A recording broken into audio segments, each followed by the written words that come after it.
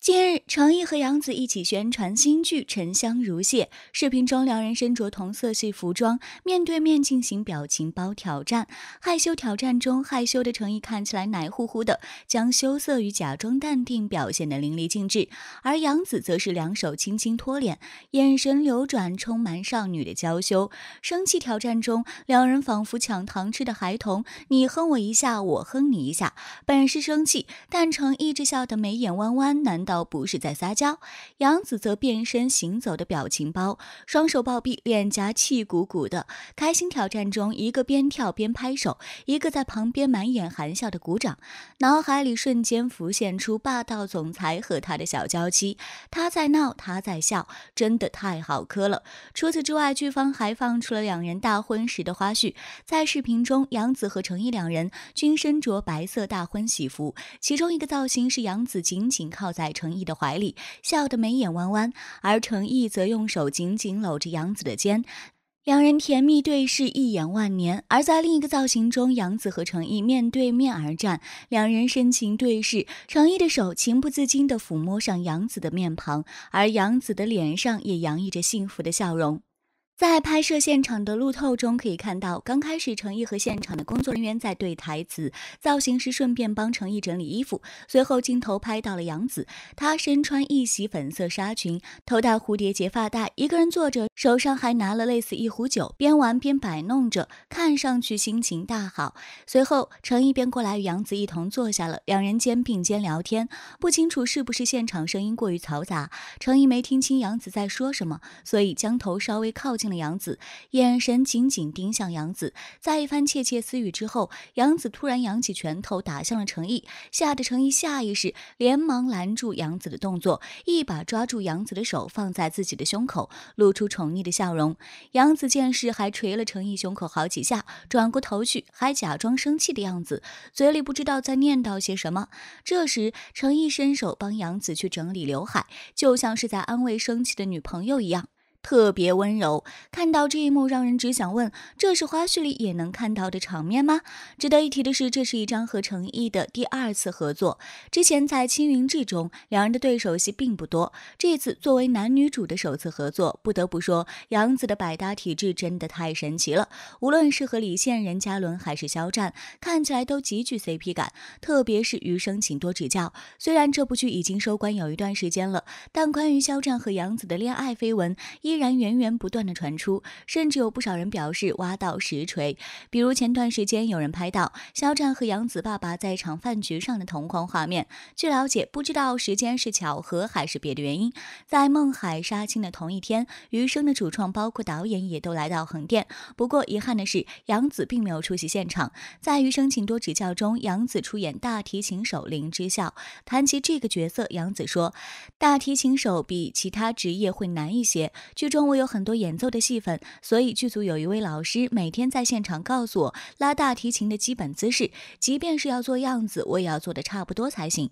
提到林之孝会不会跟之前接到的角色有点类似，杨紫表示会去特意设计一些不一样的。印象最深刻的是拍摄他劝慰肖战的一场戏，拍摄第一条的时候我就哭出来了，但是可以很明显感觉到自己在使着劲儿，并没有真正的被感动。在导演的要求下，杨紫拍了第二条，我告诉自。自己要放松，不要设定这场戏我一定要哭。结果我本来在那个点要哭的，我却没有哭，反倒在最后我们抱在一起要笑的时候，眼泪哗的流出来了。哭完之后，导演也说，这才是真的感情。剧中，肖战出演男一号顾魏，一名外科主刀医生。肖战说，这个角色外表高冷，内心炽热，不太懂得怎么跟人相处。他从小在父母为他营造的一个框架里面成长，是一名非常严谨的医生。顾魏能力出众，但过度在意失败和挫折。一次意外的医疗事故，更是差点成为压垮他的最后一根稻草，让他承受巨大的心理压力。就在这个时候，杨紫出现了。杨紫妹妹扮演的林之校误打误撞闯进了他的生活，改变了他。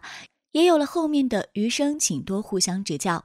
被问到对彼此的感受如何，谈到和肖战的合作，杨紫形容非常开心。我们是在很轻松的气氛中拍摄的，我尤其感谢肖战，他让我把角色演绎得更加立体。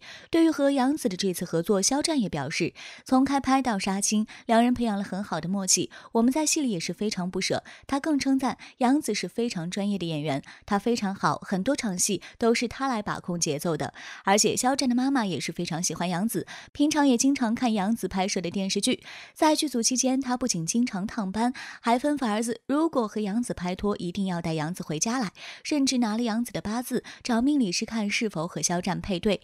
对此消息，肖战是既害羞又有点尴尬的笑说：“我知道有这件事，命理师说我们的八字很配，但好像没有什么后续了。”其实之前杨紫有过官宣的男朋友是秦俊杰，两人因戏生情，在二零一七年二月十六日公布恋情。期间，男方因为胡辣汤事件而被网友斥责。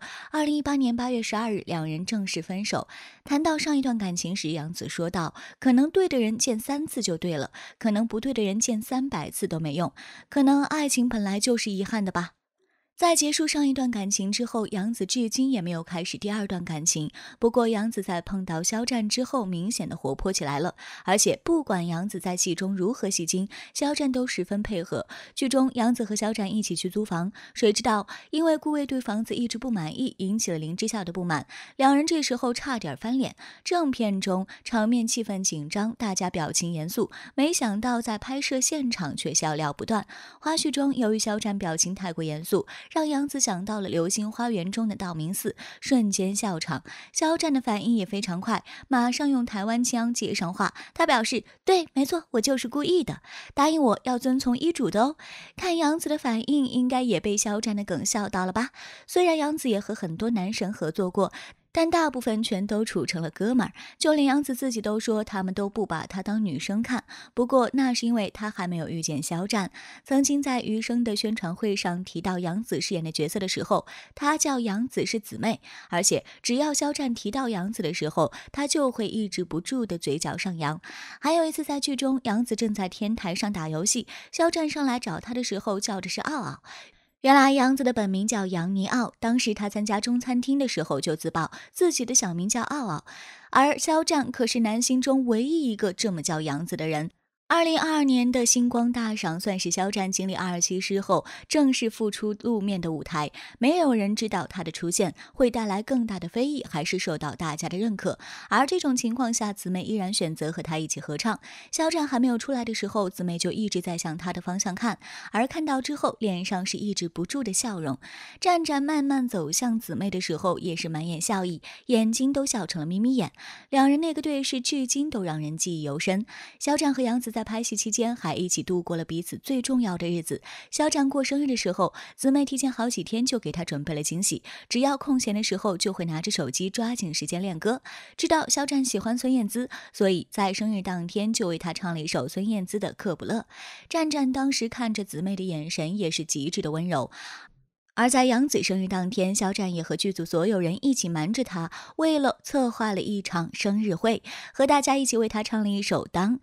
让姊妹感动的稀里哗啦的，在事后的大合照中，两人非常亲密的站在一起，甜度爆表。